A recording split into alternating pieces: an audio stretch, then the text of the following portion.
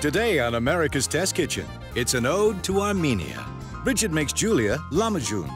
Jack explores the world of lentils. And Dan makes Bridget Vospov kofte.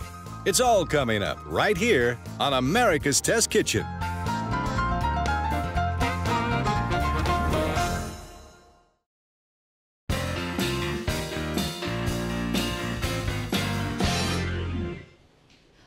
Before pizza came around, Armenians were making savory flatbreads topped with meat and vegetables called Lahmajun. And today, Bridget's going to tell us more. Oh, I absolutely love these. These are so thin and crisp, still tender and covered with that beautiful meat paste. Oh, mm. all good words. We're going to start with the hmm. dough. We have three and a quarter cups of all-purpose flour. Now that's about 16 and a quarter ounces. Mm -hmm. And you want to use an all-purpose flour if you can. That is a little higher in protein, a little higher gluten. So something like a King Arthur would be great. But these will still be fine without King Arthur flour. They're not just going to be as crisp. Okay? okay.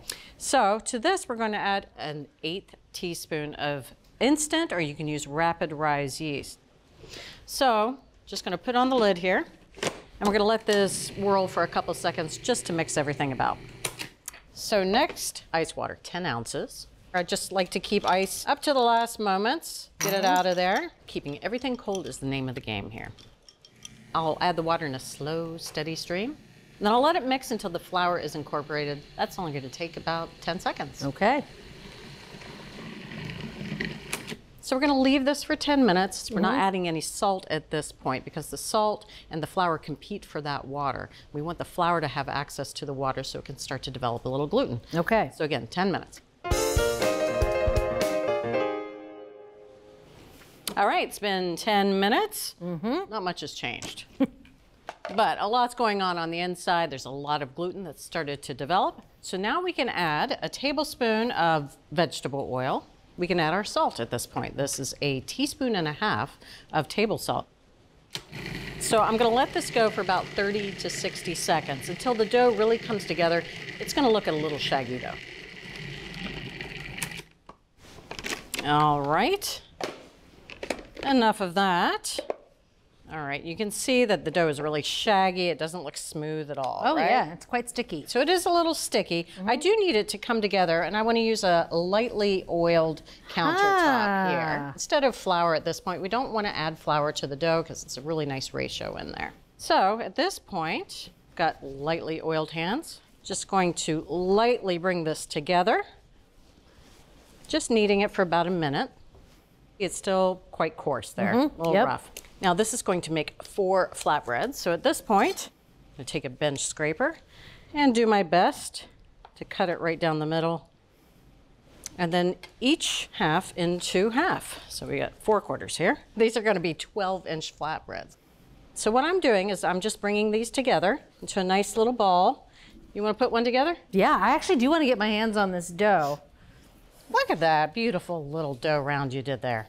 If you wouldn't mind spraying that rimmed baking sheet. All there right. go. All right, so these are gonna go onto a sprayed baking sheet here. If you wouldn't mind spritzing the tops too. Just a little sheet of plastic right over the top. All right, and you wanna make sure at this point that this is pretty well sealed. So these are going to go into the refrigerator for a minimum of 16 hours. Mm -hmm. You can do it 24 to 48 is even better. Oh, wow. 48 hours is magic. This dough will love you for life. All right. All right, so I'm gonna go put these in the fridge. All right, dough is resting in the fridge. We have plenty of time to work on our flavorful meat topping. Mm, there's a lot going on here. There's a lot going on, and it starts with a bell pepper. Mm -hmm. It's just one bell pepper, stemmed, seeded, and cut into one inch pieces. Got a quarter of a small onion, mm -hmm. not a lot, just goes right in there. Got a quarter cup of parsley leaves and some of the little tender stems is fine in there. We have one garlic clove, just peeled. Tablespoon of tomato paste, and then mm. some spices. This is a teaspoon of ground allspice, a teaspoon of paprika. We have a half a teaspoon of table salt, and a half a teaspoon of cumin. An eighth a teaspoon of black pepper, and an eighth a teaspoon of cayenne pepper. Mm.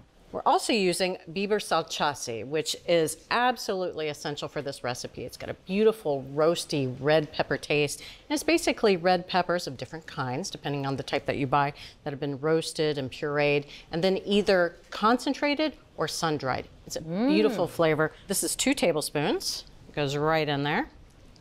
And now lid goes on. And we're gonna let this whirl for about 15 seconds until it's pretty smooth. All right, so that's good on its own, but of course, we gotta turn this into a beautiful meat mm. topping. So we've got a little bit of lamb. Mm. This is six ounces of ground lamb. And I'm gonna break this up into chunks and add it right in the food processor. Lid goes on. We're just gonna pulse this until it comes together. That's about eight to 10 pulses. Ah, oh, ho, ho, ho.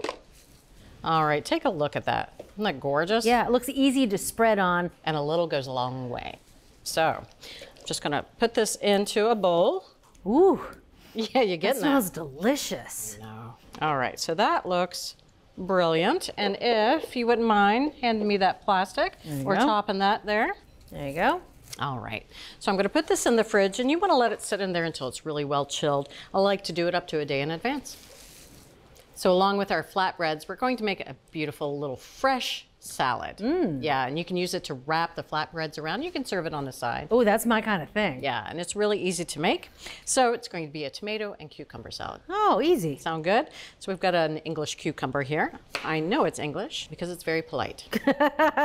We're going to cut this lengthwise in half. All right, I'm just going to lengthwise cut these in half again.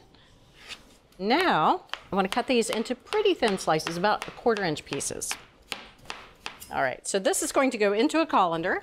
There's a lot of water in these cucumbers. Mm-hmm. There's a lot of water in tomatoes, which we're also adding. This is two tomatoes that are cored and then cut into quarter inch pieces. All right, we're gonna add a little bit of salt here. I've got three quarter teaspoon of table salt. Ah, drawing out the moisture so that when you put this on top of the flatbread, it won't make a soggy mess. Exactly. Nobody wants a soggy mess, especially on those crisp flatbreads. Mm.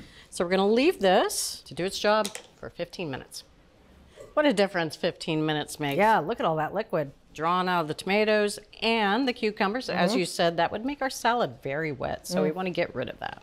All right, so now we can dress our salad. We've got half a cup of pitted green olives and fresh mint. This is a quarter cup of mint leaves that we've shredded. And then our dressing is two tablespoons of extra virgin olive oil and two tablespoons freshly squeezed lemon juice and a half a teaspoon of ground black pepper. So I'll toss this. So this is really a salad that you want to dress about an hour before you're going to serve.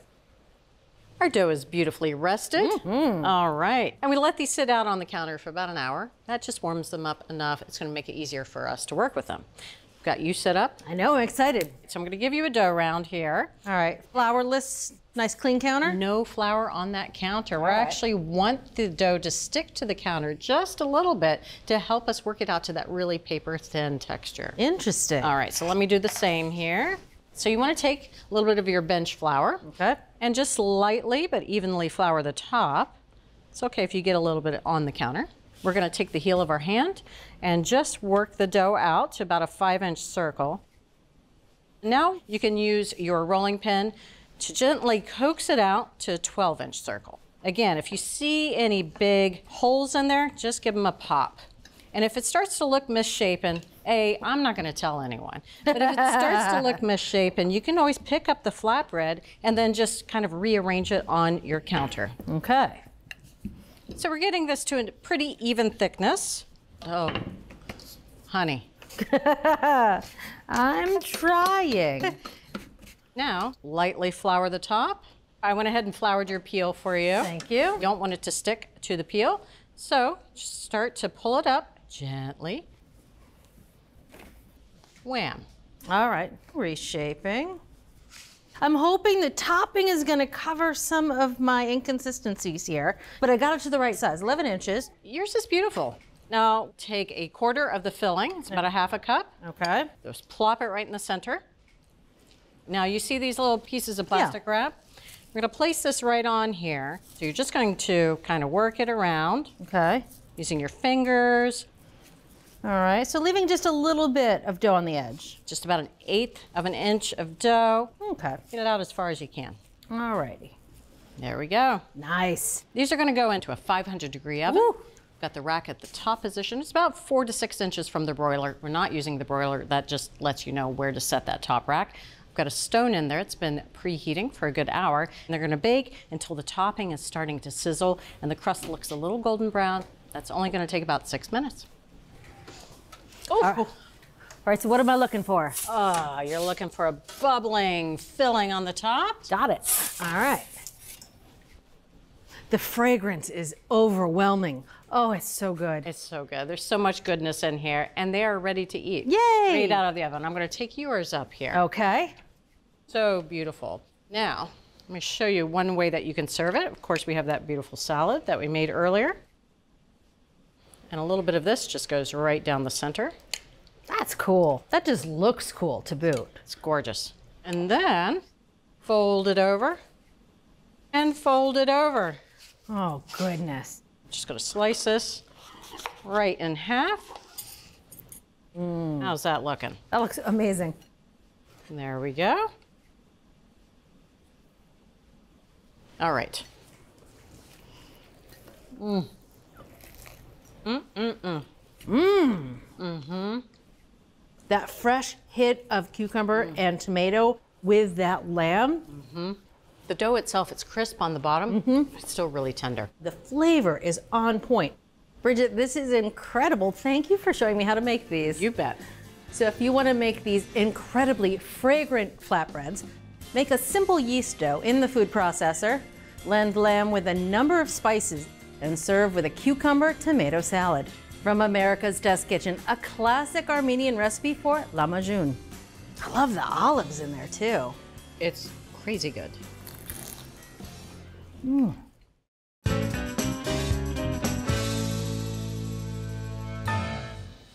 Lentils may be small, but they deserve more attention. They're delicious, they're nutritious, they're inexpensive, and they're quick to cook 15, 20 minutes, and they can be ready to serve. Now, your most basic type are either brown lentils, which I have here, or your green lentils. They're very similar. They have a slightly earthy flavor, nice creamy texture. They can be used interchangeably. Now, I know I said they're quick cooking, but I will give you a test kitchen tip that if you want lentils that are creamy and intact, which you do if you're making a salad or a side dish, it's worth soaking them in a little salted water for one hour. Four cups of warm water, one teaspoon of salt per cup of lentils. They cook up beautifully. If you're making soup, you don't need to do that. Now, as excited as I can get about brown and green lentils, French green lentils, often called lentils de Puy, the region they come from in central France, even better. They have a lovely flavor. The texture is creamy. Uh, they're a little bit shiny. These are actually kind of worth the extra money because they're a little bit more expensive, but they're my favorite lentils. Next up, we have big surprise. These are beluga lentils. Yeah, uh, it looks a little bit like the caviar. They're shiny. They've got an earthy, robust flavor. They do an excellent job of maintaining their texture. Again, both the green lentils and the black lentils here, I would use in salads. Last but not least, I have red lentils. So if you do a lot of Indian cooking, you're familiar with them. Now, red lentils start out with either a green or brown seed coat that's been removed during processing. Then the lentils are split. So this means two things. One, they cook really quickly, maybe in 10 minutes. They also tend to lose their texture and become velvety and creamy in dals and soups. Absolutely wonderful in Indian cooking. So lentils, prove my point. Good things come in small packages.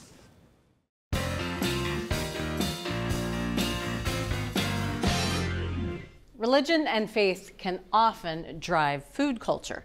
For example, meat restrictions placed by the Armenian Apostolic Church led to the development of many vegetarian dishes, some really great ones, like Vospov kofta, which Dan is here to show us how to make. So this is one of those dishes where you're eating it and you just forget that meat even exists. Mm. Does that ever happen to you though? Yes, usually with mac and cheese. With mac and cheese. yep. So it's one of those. So we're gonna get into it, and it really relies on fats to give us mm. some of the richness that we're missing and some beautiful spices. And it all begins with lentils. So that's where we're gonna start. So I have a cup here of red lentils. So they're a little orange in color, but we call them red lentils. Right. Um, and these are actually brown lentils that have been stripped of their exterior and then split in half. So Okay. they look pretty drab on the outside, but they're really beautiful inside. Because they've been stripped of all of their hull and split in half, they cook really quickly. So I'm adding them to three cups of water here. And I'm adding the first of our fats. So this is a quarter cup of extra virgin olive oil. So we know that meat obviously adds a ton of fat and richness to things. And if you're doing cooking that doesn't include it, you really need to pay attention to the fats you're adding and how much. And then a teaspoon of salt. So I'm gonna bring this up to a boil over high heat, and then we're gonna lower it and simmer until they're done. Okay. All right, so our lentils are up to a boil here. I'm gonna lower the heat to maintain a nice gentle simmer. Okay. And I'm gonna cover them because we don't want all this water to evaporate. We're gonna need this really nice ratio of water to lentils to bulgur. I'm gonna cover that. It's gonna take about 20 to 25 minutes and I'll just stir occasionally. Okay. It's been 25 minutes. Let's take a look at our lentils. And you wanna see that, really, really soft. I'm gonna turn off our heat here. Now we can move to our bulgur. This is a cup of fine grind bulgur. And bulgur is basically whole grain wheat that is parboiled and then dried and then pulverized into different sizes. So when you're buying it at the store, that's really the big difference is the size that you're getting. This is number one, so it's the finest grind. This is a cup of that. But I wanna show you over here, we have the four primary grind sizes. This is fine grind, which is very comparable to like a Demerara sugar. We've got um, our next up, so this is number two, and this is more like maybe mustard seeds. Number three is about the size of a sesame seed, and then four is more like kind of a, a steel cut oat. Right. So when you go to the store and you're shopping, you're looking for number one. That's the ideal for this recipe. A lot of times you're not gonna find that unless you have a really good Armenian market nearby. So you're probably gonna find number two or three, which is totally fine. We actually have a method where you can use your blender to process it for a couple of minutes and get it to the right texture. Great. Um, and we have a method for that on our website. Okay. And to this, I'm gonna add our wonderful mixture of just lentils, water, and olive oil, and just pour that right on top. So we're working with a ratio of three to one to one. So that's three cups of water to one cup each of lentils and bulgur, which is a pretty classic formula for mm-hmm. this. So that's why you wanna cover and keep that water in there. You don't want too much evaporation. I see. And this extra hot water in here is gonna hydrate and soften that bulgur. Right. So we're stirring this together, make sure it's nice and cohesive. Beautiful. So I'm just gonna set this aside, let that hydrate. Okay, so we're gonna get into our next fat. and We're using four tablespoons of butter. So I'm gonna put this over medium-high heat. I'm gonna melt this butter. So now we're gonna build a really beautiful aromatic base to season our kofta. So we're gonna go in with one onion that's been chopped up. Next, I have a teaspoon of Aleppo pepper. This is a gorgeous, gorgeous pepper. It's really fruity, great chili flavor. This Aleppo is, is a must. It's used extensively in Armenian cooking. Next up, I have a teaspoon of cumin, a quarter teaspoon of black pepper, a quarter teaspoon of allspice, Lovely. and a quarter teaspoon of salt. Beautiful. Oh, I can Oh. already smell it. We're gonna cook this for about eight to 10 minutes. We want it to get really nice and softened and start to brown a little bit on those onions. Okay.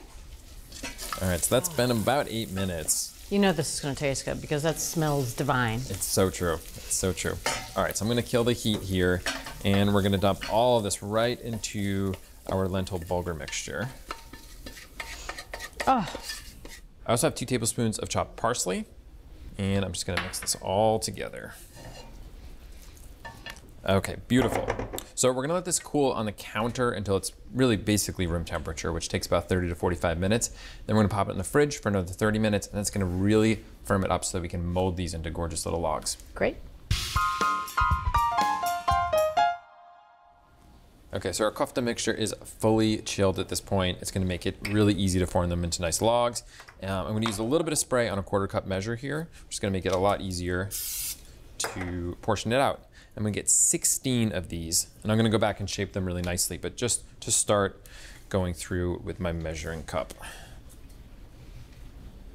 Okay, and our last one. Beautiful. Look at that. All right, so we've got our portioned out kofta here, and now it's time to shape them. It really helps to have moist hands when you're working Okay. with this. Um, it can be a little bit sticky. We're looking for three inch logs. So I kind of go around the perimeter here and just shape it out.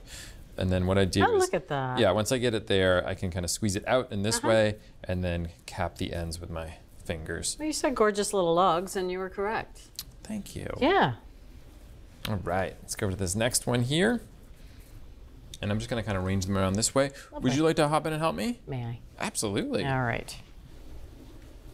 And how's that? That's beautiful. All right. Absolutely beautiful. All right. Would you say it's better than yours? No, definitely not. Okay. But it's beautiful. Um, all right, let's finish these up. so I think we did a pretty good job with our shaping. I think you're being modest. We did a fantastic job. Fantastic job. So those are going to be wonderful. They're always served with some fresh herbs on top. We're going to take that and make it a little bit more of a robust salad. All right. It's going to be really delicious and I need about three quarters of a cup of chopped parsley. So I'm starting with a nice big amount. And I like to gently kind of ball it up, get it into a more uh, manageable shape for, for slicing and just go right through it. Because it's a salad, I'm going to leave it a pretty rough chop. Okay. Beautiful. And how much are we looking for? Uh, three quarters of a cup. All right. Okay, beautiful. We have some mint. We're looking for about a quarter cup of this. Same thing. Just run my knife through it into our salad bowl. So I also have four scallions that I'm gonna slice thin. And what I like to do is cut down the middle and double them up. Beautiful. Into our bowl. Now it's time to season up our salad. So we're gonna have a little more extra virgin olive oil. This is a tablespoon. I've got two teaspoons of lemon juice for some nice brightness. i've Got all that richness. It's gonna help Right. balance that out. I also have a teaspoon of sumac. This is ground sumac. It is not the poisonous kind, though it is related to that, and it's a gorgeous, gorgeous flavor. It's really tart. It's almost like lemon juice, but in a dry form. It's a fabulous, fabulous spice. And then I have a half teaspoon of Aleppo. So we're gonna have a little bit of heat in this as oh, well. Oh, good. And finally, a quarter teaspoon of salt. And I'll just stir this together. Mm. Mm. Uh, yeah, all I can say is, mm, because I'm really hungry. It's hard to wait. It's hard to wait, but we're very close now. Okay. So we're gonna come over to our beautiful kofta here, and I'm just gonna put this salad right into the center. Okay, so it is time to eat. We have our gorgeous platter of kofta with our salad. Look how special that looks. I mean, you really took time to make this something spectacular. And obviously, this is the perfect thing to have with lavash, which is an Armenian flatbread. It's got such nice chew and stretch to it. I'm following your lead. Get a little salad. I get more of that salad on there. There we go. There we go. How's Yeah, that? Gotta go heavy on that Yeah, salad. yeah, yeah, That's yeah. great. All right. All right, let's dig in. Hmm. I went through a lot of meatless days You did. because of how I was brought up as well. We never had anything this satisfying and as hearty. Yeah. Really, really good. Yeah, it is Mm. so full of flavor. I love how the, the lentils and the bulgur they each bring a different kind of texture to it. They really do. And, and so much nice body and richness to it. And then those two fats, olive oil and butter. I don't know. It's just so complex. This is so ultra satisfying. Mm. Thanks, Dan. You're welcome. Well, if you want to make this great Armenian dish at home, simmer lentils until they are fully broken down. Pour over fine grained bulgur. When the mixture is cooled, portion it into logs and serve with a parsley, mint, and sumac salad. So, from America's Test Kitchen, a satisfying, simple, and savory Vospov kofta. You can get this recipe and all the recipes from this season, along with product reviews and select episodes on our website. That's americastestkitchen.com slash TV. Fully expected half that plate to be gone by the time I got back over here. I showed some real restraint. Mm.